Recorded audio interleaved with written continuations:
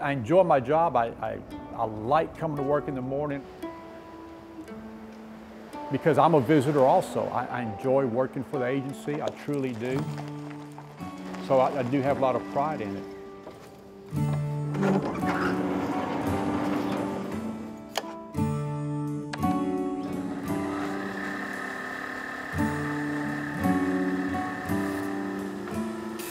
I enjoy running the machine and know, making the signs that go out there because that is something as, as minor as it may seem to people. They're just signs, but it's something I enjoy doing. My name is Willie Steinhauser. I'm the sign shop manager at uh, Bastrop State Park for the entire state park system. They go throughout the entire state of Texas, different parks, small or large, and uh, I'll make them all. The yellow lettering on the brown backfield kind of stands out. It, it catches your eye easily. It's, it's uh, visible out in the world, durable through the years. Historically, the signs were made with more manual labor involved. Have to spell out the phrase with all these little tiles, get the spacing just right. The operator would bring this carriage down over, trace out on those tiles, and the router would follow that pattern and, and make the sign.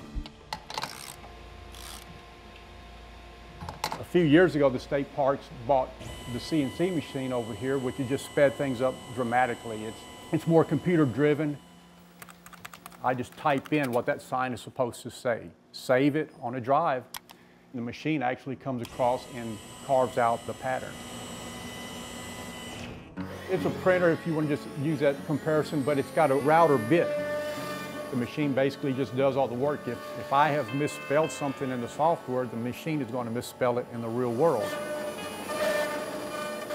I truly don't think I've ever made a spelling mistake. I check it all the time just to make sure it's spelled right.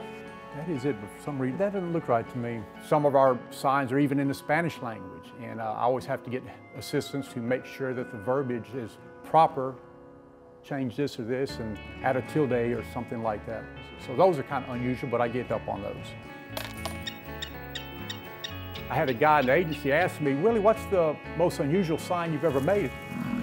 There's one for Caprock Canyon that claims to be the official scratching post for the state bison herd or something like that. And I didn't even know bison could read. I had an order for a sign, it was two signs actually, for Big Bend Ranch State Park. One side said simply nowhere.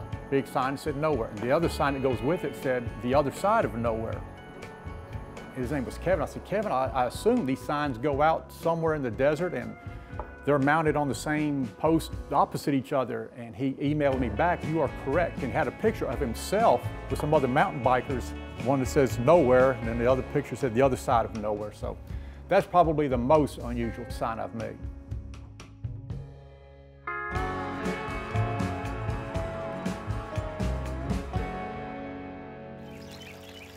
It's treated lumber. Uh, it's supposed to last, but obviously in the Texas environment, there's going to be some heat involved. They are in the elements 24 hours a day. They don't get any break.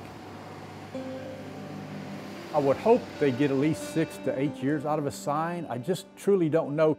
At some point, they're going to split, get damaged by mowers hitting them or trailers bumping into them. It's just kind of part of the deal sometimes.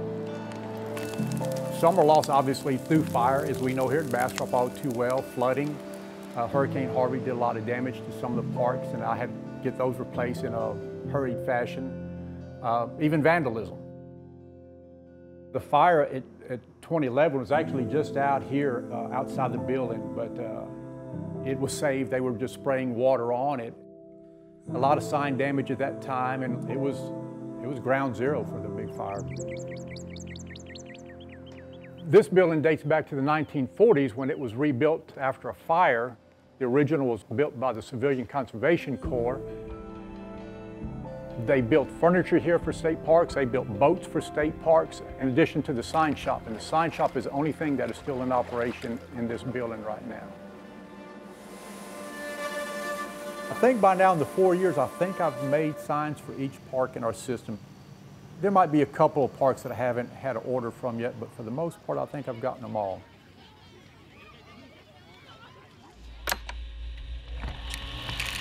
It's really not even that dusty in here. Uh, the vacuum takes care of a lot of that.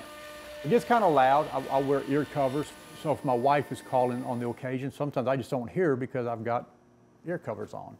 And is it a good excuse? I'm not going to say that, so don't air that.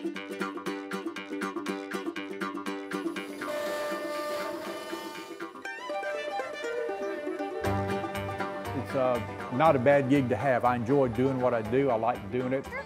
Because I make these signs and know that they're going to be mounted out in various parts, I want to make sure that our visitors have a good experience. These signs are concise and to the point and let that visitor know which direction they need to go to see a certain attraction. Oh, Dad, see that sign? My family, we do visit parks. Yeah, they're older. I do like to point out those signs that I've made and those that I didn't make. I've looked at a lot of them, so I should know. Not mine.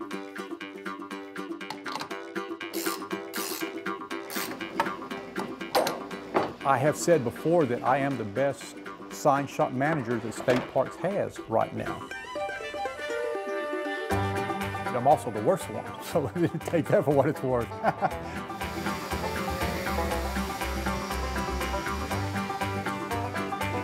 I haven't caught up yet. I don't know if I ever will, but I try. I would like to just catch up and not have signs to make, but I'll see if that ever happens.